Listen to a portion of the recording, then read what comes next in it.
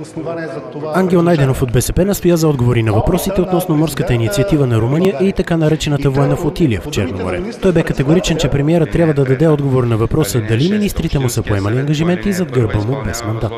Знае, че има съответните ангажименти на Министерски съвет и на премиера.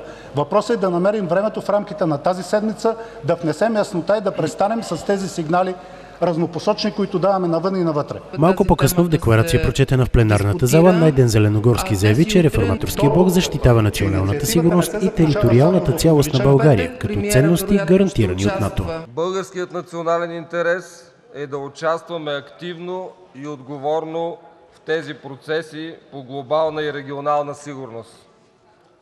Отговорност на политиците и на партиите в България е да не допускаме злоупотреба с страховете на хората. Реформаторския блок разглежда членството на България в НАТО като едно от безспорните големи постижения на българската демокрация и като най-добрия начин за да се гарантира националната сигурност и сигурността на, на всеки отделен българин.